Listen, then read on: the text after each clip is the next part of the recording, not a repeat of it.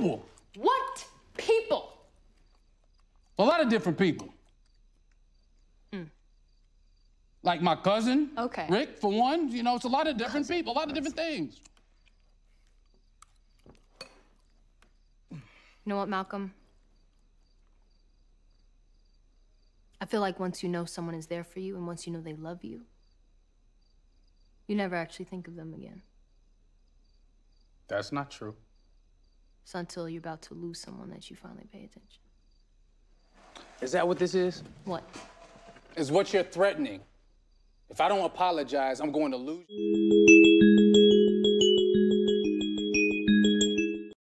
Hello everyone, the Lazy Viewer here, and in this video, I'll be doing a review of the latest Netflix film, Malcolm and Marie, which stars John David Washington and Zendaya. It's written and directed by Sam Levinson from Euphoria fame. It tells the story of Malcolm, a hotshot filmmaker who's, who's on the verge of getting his big, uh, big break, and his girlfriend slash muse, Marie, whose sil- silent indignation over Malcolm's attitude leads to the couple getting into a heated argument and puts their flaws, past mistakes, and fears on the spotlight, putting their relationship to the test. Now, when I first heard that Sam Levinson was working with Zendaya on making a film in the midst of the COVID pandemic, I was excited. To be honest, I think Sam Levinson is a standout um, director, especially after uh, with his show Euphoria, which I think is one of the most underrated shows on television right now. And the fact that it has Zendaya in it, who is one of the most standout actresses working right now. She has this natural likable, likable persona and she actually is a very gutsy actress to take on these very emotionally complex roles.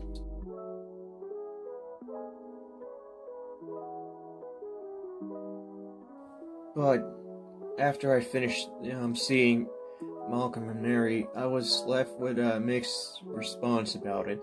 Don't get me wrong, the film has solid performances from John David Washington and Zendaya, who gives the standout performance is Marie, a young woman with a troubling past who understandably feels unappreciated by her boyfriend, whose recent um, film is based on her experiences as a drug addict, and he fails to acknowledge her once again, which leads to a tumultuous night that leads to. And uh, the film has an incredible her relationship. It has some great status. editing, um, editing as well, and especially during one scene which is when Zendaya is making macaroni and cheese.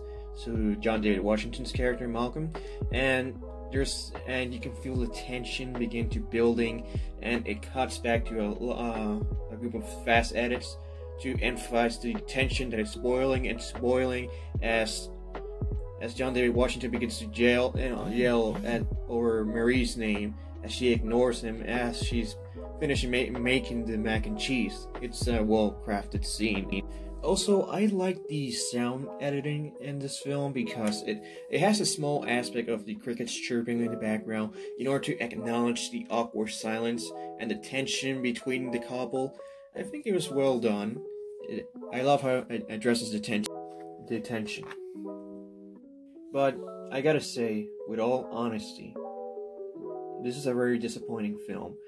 The the fact is that it brings up a lot of interesting topics and, and thematics, which only addresses them on a surface level. There's no, it doesn't deepen and and adds to the conflicts between the characters itself. It's just the, the topics are addressed and that's it. It's it's done in a way that just by addressing these topics, it thinks it's, it's just has a lot of deep things to say, but it doesn't. It just addresses them and in no way deepening the thematics in it. The characters themselves don't even feel like characters. The characters feels like um, the inner struggles of the director Barry, um, sorry, Sam Levinson, because the characters um, feel like the things he has to say about the film, about the filmmaking community, about the film criticisms, and about how the topic of race is acknowledged in Hollywood don't. It, it, feels like two characters that are used to ex, um, say all the things he wants to ex, um, express, and he forgets to add characters to it. He adds some character traits to them, but not enough to deepen the, the, the characters. The flaws are just superficial and they're constantly being reminded of the flaws, but there's nothing done about it. They don't deepen it, they don't do it in a way that manages to be sympathetic towards the viewer. Um, this film is frustrating because I find it to be the first 30, 30 minutes of the film were great. I love how it starts building the tensions little by little, and then it, it leads to the start of this huge argument. And then nothing else happens. Because, and I said nothing else, I'm not saying nothing else happens in the film, but nothing else happens in the way that it's stuck in the same. In the film, it has this aspect of they bigger, they are on the verge of having sex, and then Zendaya is reminded, "Oh wait, I'm pissed at this guy. Why am I having sex with? Why am I having sex with him? Oh, about to have sex, and oh, it's so frustrating. It's repetitive and it gets tiresome. I mean, I think I understand what he was trying to do. Most couples are, most couple bickerings are like that. They're repetitive and it's sometimes it leads to not, it leads to nothing. But Jesus, at least trying to make it interesting.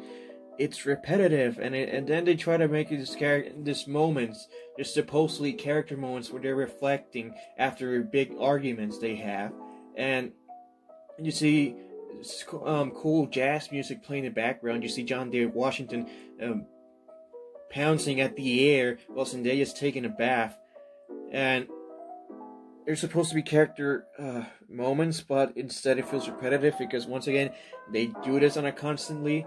It's not just they're about to have sex and they bicker. They also like take a moment to reflect and then oh wait I forgot I'm still angry at him or I'm still angry at her. Let's let's keep arguing for the sake of the film's um, runtime.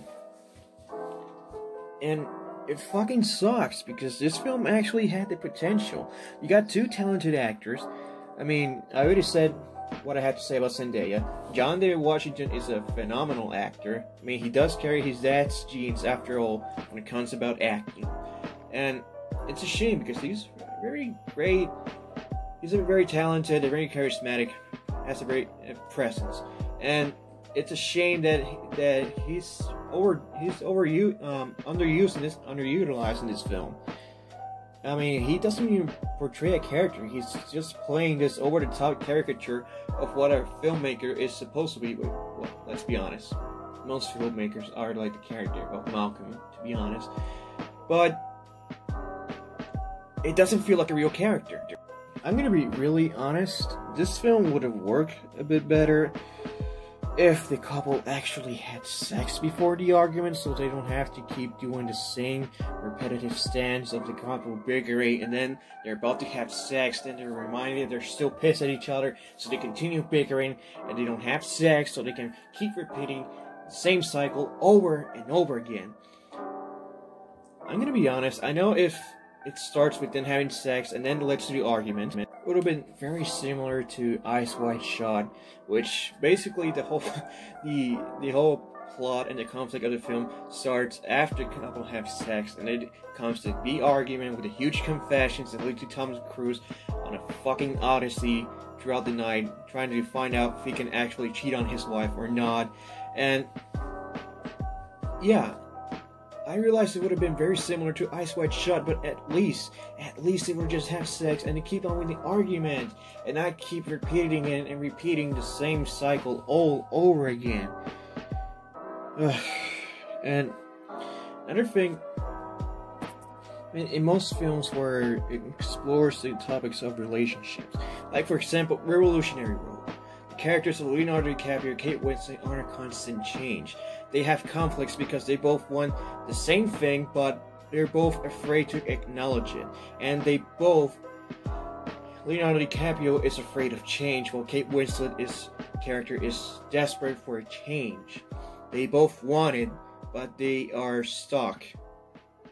And they're afraid of, first, of facing uncertainty of their future, so they're stuck into the conformity, even though it's not it, it doesn't make them happy.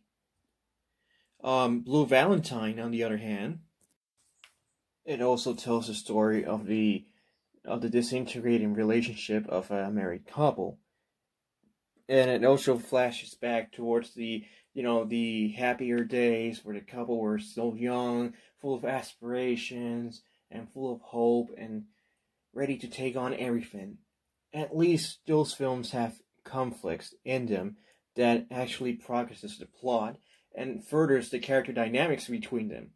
And this film is stock, which repeating the character dynamics, repeating the same the character flaws that the, the characters just argue that they don't like about each other, and nothing happens. I mean, I'm not gonna lie, it does have its um, crowning moments. I mean, there's one scene that I love very much. And I appreciate Sam Levinson for his brutal honesty about it because that's that is something I I really really always wanted to express about the film film about film critics as a whole where he criticizes them about the film critics not focusing on the characters um, on the director's um, motivations on the director's aspirations or its influences. They just focus on the matter of race or its sexuality between other things instead of acknowledging what the point of the artist was trying to accomplish.